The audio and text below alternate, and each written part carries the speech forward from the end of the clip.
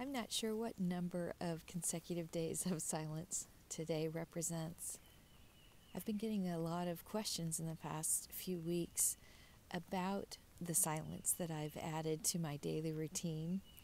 My name is Vickie Maris. I appreciate you being here. I wanted to record this video for you to give you an update about this practice of silence and what it has meant to me to add it to my routine. Some days I practice 30 minutes of silence, other days I follow a guided meditation. Today I was out here on our farm and it's actually starting to rain a little bit, so hopefully I don't get too wet here out in the field with the llamas. That's Lily right behind me. If you scroll back in the playlist of reflection videos that I recorded for you after my 100 consecutive days of adding silence to the routine, you will see the llamas in a few of the videos. I often participate in silence out in nature, and we're blessed that we have this beautiful farm and get to be its caretakers and get to be the caretakers of these beautiful creatures. And it's fun to spend time with them. And they seem to be drawn to the silence or to me when I'm practicing silence one of the things I have learned is how the increase in self awareness as you add silence to your day seems to connect you more with your loved ones, with your animals. In my case, also uh, with my spouse, with my friends that I play music with, and connect us not just when we're together in person, but energetically. I continue to experience these synchronistic moments that are coming right and left, unlike ever before in my life, where somebody's name, you know, comes across my heart and I will be sometimes I'll just say, you know, hello, like not that I'm physically in front of that person, but when their name comes across my heart, I greet them. Sometimes I pray for them uh, if I feel like there's some sort of need in their life, and I may not have any idea what it is, but I'll just speak some prayer over them and send good thoughts their way. And then that synchronistic moment sometimes comes into being where I'll get a text from them that just happened yesterday. I was actually uh, working on some song lyrics, and one of my friends' names came through my mind. And wasn't maybe less than an hour later, he texted. And my husband had a similar type of synchronistic event yesterday. And these, these were all intertwined within like 90 minutes of each other. So we're both noticing things like that happening more frequently. And the only thing I can attribute it to is this practice of daily silence. And it is a practice. So if you're just now kind of stumbling across one of my videos, I have a few of these in public status on this Vickie J. Maris YouTube channel. And I encourage you to look in the upper corner I always have to think: do I do I point up that direction or that direction? it's backwards. I think it I think it would be up there. I'll put the playlist, the link to the playlist. I do have the playlist in unlisted status, but I if you're interested in this and would like to follow along, I've got all of those little reflection videos that I created after each period of silence there was a few instances or a few days where I would do the silence for maybe two or three days in a row and then create one video. So there's not a hundred videos, there's 70 some. But I'm here today recording this video for you because I had gotten so many recent questions about are you still doing the silence or did you stop after the 100 days? Last night I was in the recording studio uh, finishing the keeper, what's called the keeper vocals on four of my new songs. And I was asked that question because I've been songwriting. I've been on this roll. Songs are just pouring out of me.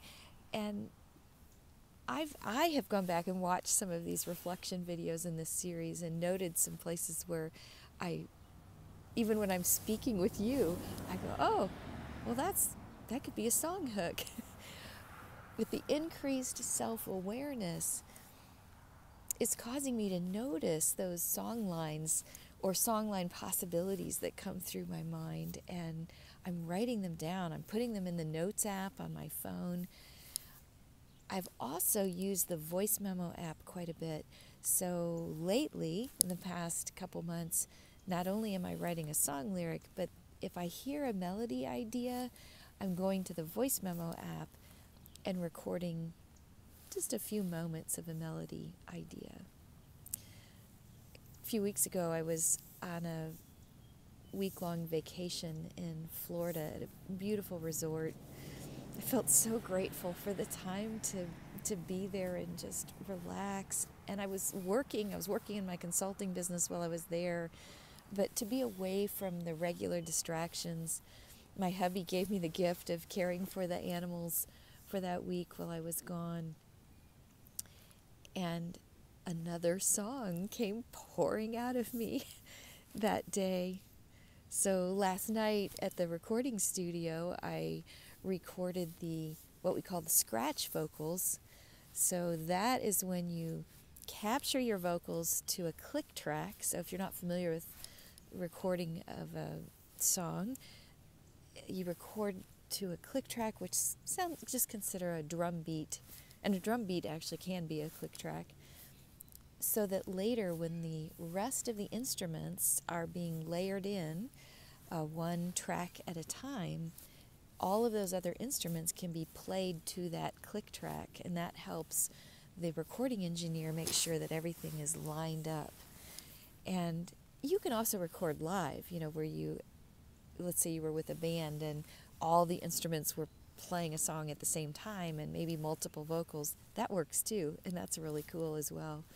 But often, uh, when songwriters are recording their music, they'll do it this way where you you first like I was playing my guitar and singing the vocals to a click track and then uh, Michael who's who is uh, serving as the sound engineer, recording engineer, and he's also doing the instrumentation.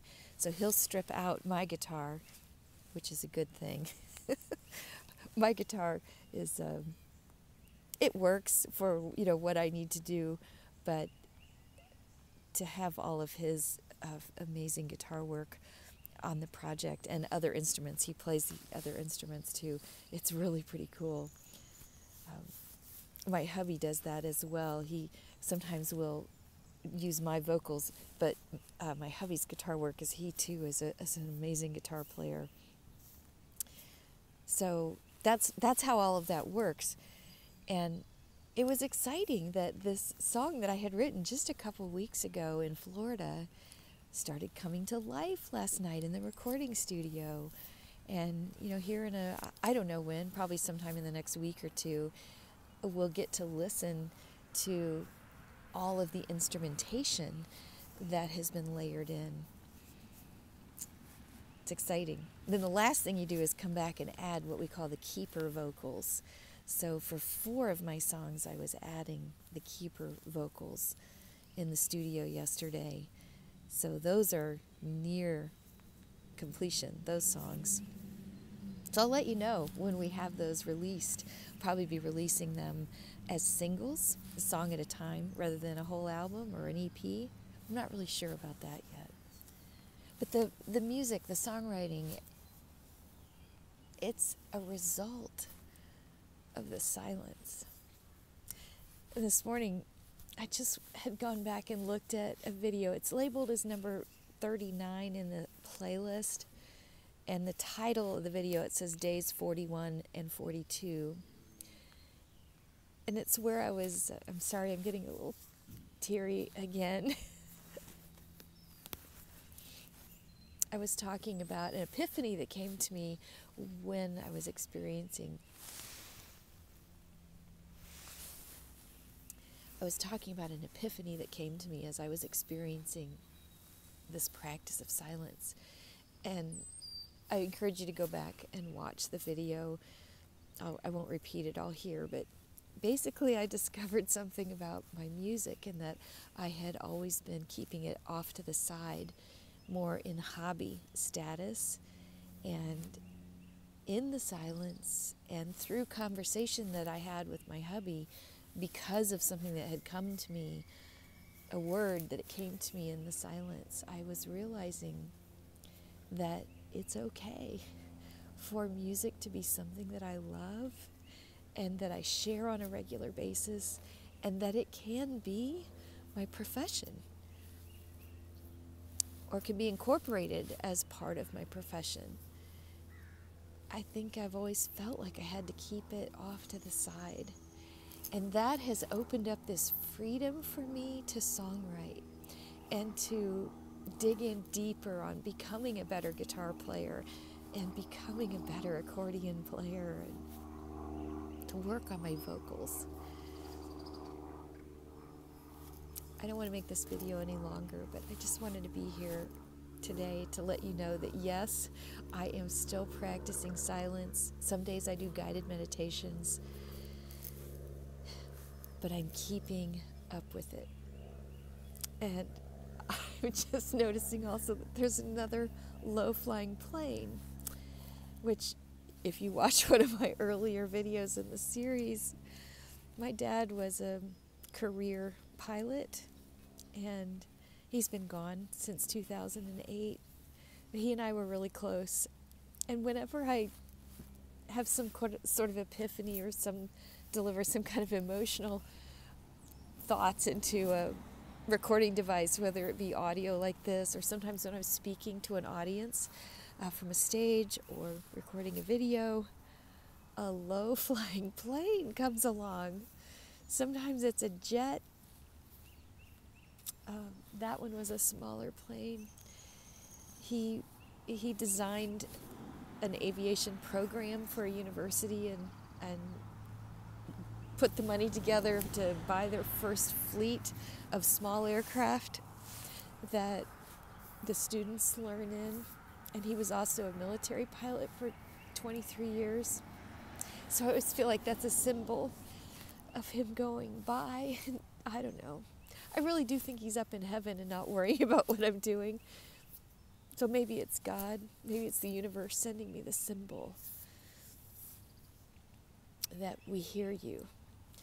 So know that you're being heard too.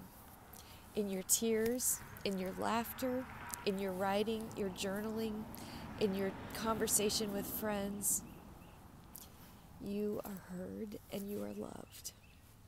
And I love you. Thanks for being here.